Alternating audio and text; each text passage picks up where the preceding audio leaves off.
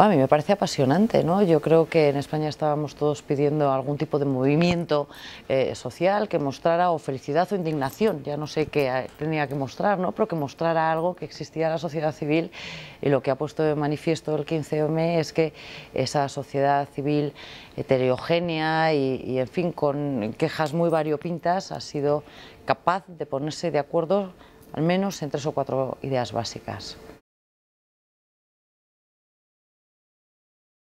Bueno, pero yo creo que son cosas distintas, ¿no? Una cosa son lo, denominado primavera árabe e incluso otoño árabe, que fue eh, anterior, que son movilizaciones contra dictadores, y otra muy distinta es el movimiento 15M. Si hubiera que pensar que eh, lo que pasó en la Plaza Tahir tiene algo que ver con lo que pasó en la Plaza del Sol, probablemente Zapatero hubiera terminado como Mubarak, y no es el caso.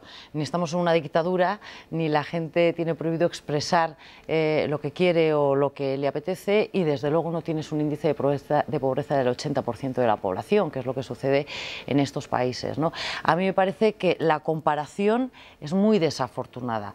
Otra cuestión es elegir un sitio como foco y como bandera para expresar tus ideas.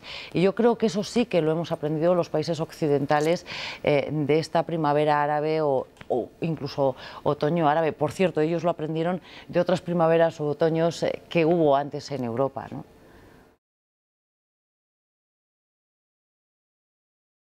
No, no, no, no, no, tiene nada que ver. En un sitio están eh, buscando una vía de democracia, porque están saliendo de países eh, absolutamente dictatoriales, cerrados, en donde las libertades públicas no existen, probablemente en aquellos países en donde la presencia de la religión eh, musulmana es muy potente y por lo tanto está confundida o no tienen, no es que estén confundidos, no tienen separación de poderes, no está por un lado el poder legislativo, por otro lado el poder eh, legislativo, el poder judicial de la religión, porque todo es básicamente una misma cosa. Y, mm, otra cuestión muy distinta es que la democracia, que es eh, el mejor, yo creo, de los sistemas que hemos podido inventar, aunque sea imperfecto, eh, tenga que corregir esas imperfecciones. Y yo creo que dentro de las democracias existen imperfecciones y está muy bien que las denunciemos y que las eh, queramos mejorar, pero no tiene nada que ver intentar mejorar en un país democrático las libertades con intentar alcanzar libertades, que es lo que están eh, pidiendo gente a las que les matan todos los días por eh, salir eh, en contra de sus gobiernos. Son dos cosas muy distintas. No, en España llevamos 30 años de democracia. 30 años, 33 años para ser exactos.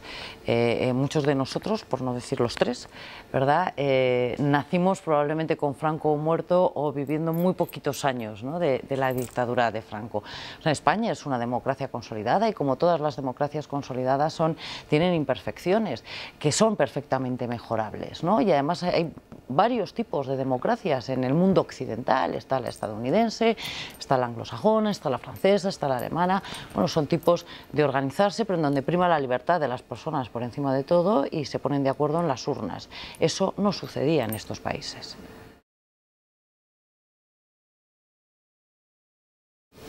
Sí, sí, sí. Eh, yo creo que hay formas de plantearse la vida. Mi especialidad es la economía y en la economía no hay derechas ni izquierdas, hay sentido común. Eh, si no ingresas, no gastas. Si no gastas y quieres comprar algo, te endeudas. Si te endeudas y eres botín, pagas un interés más bajo. Si te endeudas y eres Pilar García de la Granja, te ponen un interés muy alto. Y si no pagas, te embargan. Esto que pasa en las familias, pasa en las administraciones públicas y pasa en los estados. Una vez que eres rico, puedes discutir qué haces con el dinero de los impuestos. Puedes decidir si prefieres carreteras, si prefieres hospitales, si prefieres educación o si prefieres que las personas libremente decidan dónde inviertes un dinero. Pero cuando atraviesas una situación económica crítica de empobrecimiento de un país real, como es la que estamos viviendo nosotros y la que se ha vivido en los países occidentales, eh, claro que queda obsoleto la derecha o la izquierda. Lo importante es crear empleo para que se paguen impuestos para poder mantener nuestro nivel de vida. No, eso me parece que es absurdo.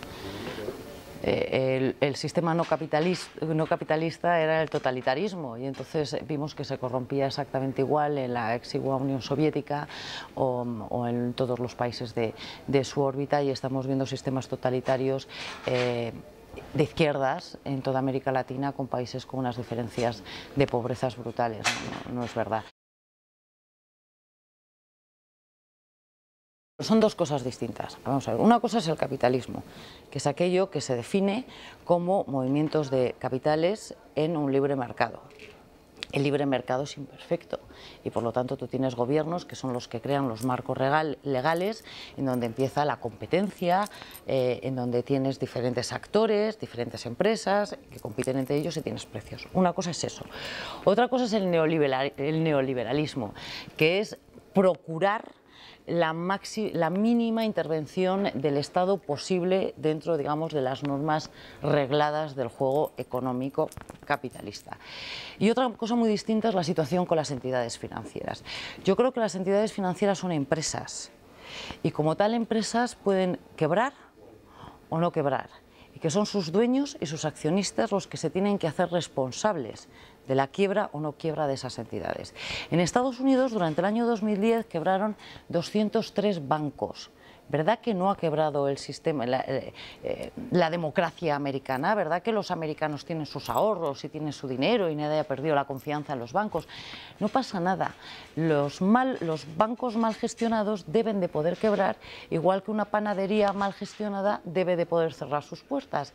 E igual que no damos ayudas al pobre panadero para que venda más pan en época de crisis, no entiendo que haya que dar ayudas a entidades financieras que han gestionado mal en época de crisis. Bueno, yo lo primero que tengo que decir es que efectivamente somos gente de derechas y, en mi caso de derechas y además liberales y estamos muy orgullosos de decirlo y de contarlo. Eh, respecto de esto, es que fue, eh, o sea, yo fui parte de la idea de ir desde el minuto cero a cubrir lo que estaba pasando en el 15M porque me parecía eh, importantísimo por muchas cosas, pero Probablemente la primera es que la mayor parte de las ideas que defendía el movimiento 15M la estaban defendiendo la mayor parte de nuestros tertulianos en Intereconomía. Separación de poderes, listas abiertas, em, eh, partidos políticos mucho más democráticos, en donde una persona fuera un voto exactamente igual que el sistema anglosajón o que el sistema estadounidense. Esto aquí se está defendiendo todos los días y yo no entendía por qué no había que ir a apoyar a gente que en vez de chaqueta y corbata pues tenía 25 años como mi hijo mayor y yo el pelo largo y tres pendientes. Mm, o sea, no, me parece absolutamente injusto. Intereconomía estuvo ahí desde el primer día, yo estuve ahí todas las noches y estuvimos dando voz eh, y opinión a todos los que estaban allí.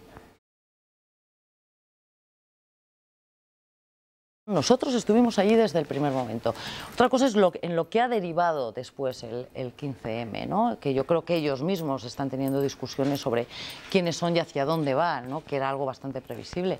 Pero desde el minuto cero, Intereconomía fue la única cadena de televisión que estuvo en la Puerta del Sol entrevistando en directo a la gente, pidiendo sus opiniones, dejándoles expresarse libremente y fuimos la única cadena de televisión que hizo eso.